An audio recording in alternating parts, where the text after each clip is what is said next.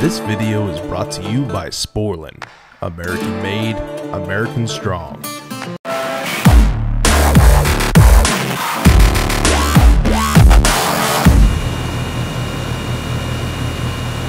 What's going on, guys? So, first of all, I want to emphasize that this is not supposed to be just an all out bashing video of a manufacturer. I'm not really one to do that typically, but I do have some issues with my Fieldpiece SC660. And if I'm gonna be out there on YouTube and social media advocating for products when they're working well for me, the flip side of that is I've got to be honest with everybody when I have one that maybe has some issues that need to be addressed. So essentially what we've got here is the Cadillac of Fieldpiece meters, right? The SC660, it's humongous. It's got all kinds of features on it that you don't typically see on other multimeters, okay? So it has a lot of features that typically have their own dedicated meter for, such as phase rotation, such as frequency reading. And in the last two months, I've had three incidents now with those specialty features, okay? Two of those incidents were in the last three days, okay? So it's worth bringing up. About two months ago, I was doing a VRF commissioning job in Louisville, Kentucky. And although I didn't need to, I decided to play around and try out the frequency feature. Which according to Fieldpiece, when it's in that setting, you can actually use the amp clamp to clamp around a live wire on an inverter driven load and see the live reading of frequency or hertz.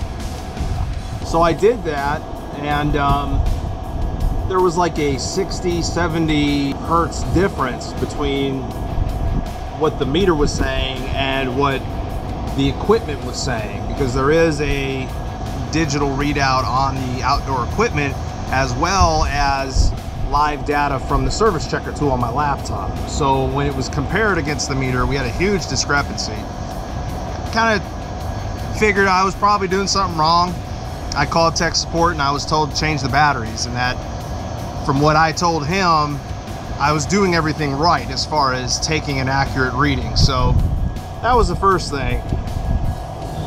Two days ago, I almost lost a compressor. Brand new install. Uh, about an hour before startup, I used the phase rotation feature to check my phasing. The meter told me we were phased backwards. Okay, so I went ahead and I swapped two leads. Sure enough, I went right back and tested again, and the meter told me I was now good and phased correctly. About an hour later, we start the equipment up. Sure enough, it's backwards. And before I even had a chance to do anything, that compressor opened up, it overheated, internal overload. Had to wait until the next morning to start the equipment again. After swapping the leads back to their original connection, equipment ran like a dream. So that meter almost costed me a scroll compressor. Okay, that was only a day or two ago.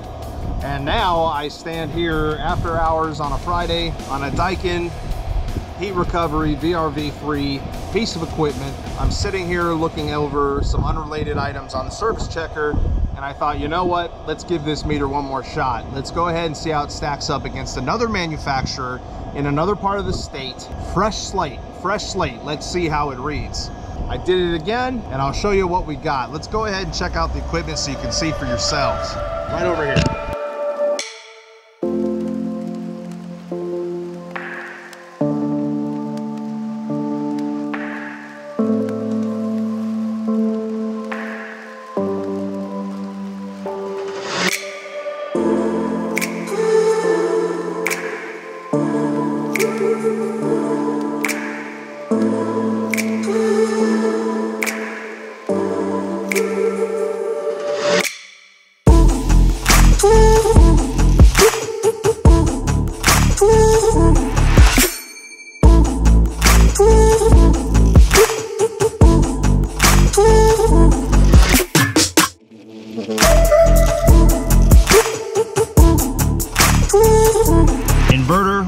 Revolution 66 RPS. Now Daikin uses RPS, I believe that's revolutions per minute. They just changed the nomenclature, but that's our frequency. So it's running at 66 Hertz. Uh, let's go ahead and see what the Fieldpiece shows us.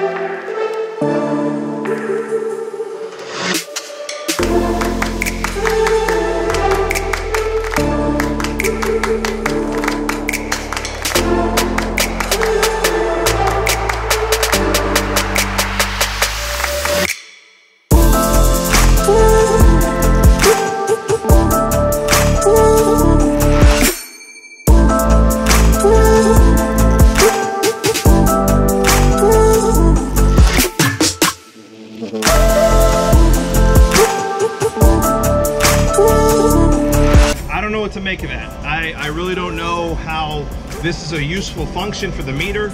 If we have a, you know, 65 revolutions per second difference between the equipment and the tool. Now I'm not gonna blame the logic in the Daikin board as being defective because this is the second time now I've had almost the same discrepancy and it was with a different manufacturer. So another manufacturer of VRF equipment showed one frequency and uh, the meter was again about 60 to 80 hertz off. Okay, and actually now, I don't know if you heard the change in tone from the compressors, but we just dropped to 26. So we just went down 60%, okay? We went from 66 down to 26 hertz the, the Fieldpiece uh, sensed a change as well. And went down to 62 so again the calibration is is ridiculously off um, from the factory on this.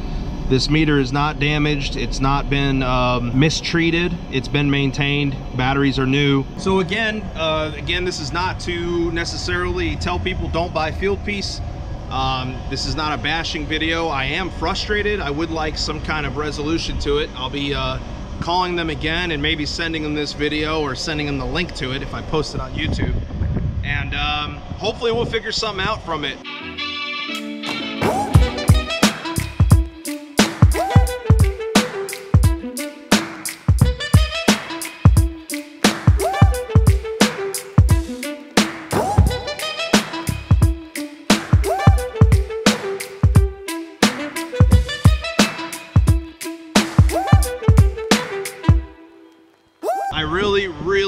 Was excited about this meter. I've always used a Fluke 902, um, but what I will tell you is the 902 is going back in my bag uh, for the time being until we figure something out because the features on that meter were very exciting for me. The 660 uh, specifically because it, it lends itself to somebody that does a lot of VRF commissioning and startups, okay?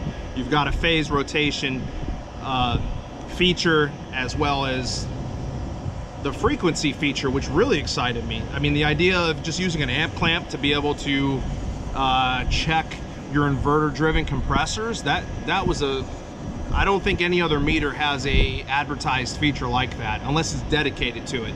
So having it all in one meter was very exciting.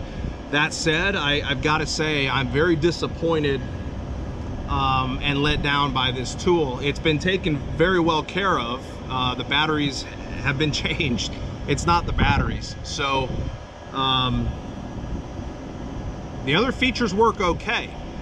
You know, volts, amps, all that. I've, I've stacked that up simultaneously against other meters that I have. My flukes, my amp probes, they're always within a reasonable range of each other.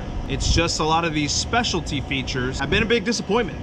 And that's really all I have to say about that for now. But again, instead of running it over with my van, which is what my full intention was this morning after that phase rotation mishap occurred, I'm gonna hold on to it. I'm gonna reach out to Fieldpiece again, maybe talk to somebody different, see if we can get to the bottom of it, and I'll come back to you guys with a resolution if one comes about.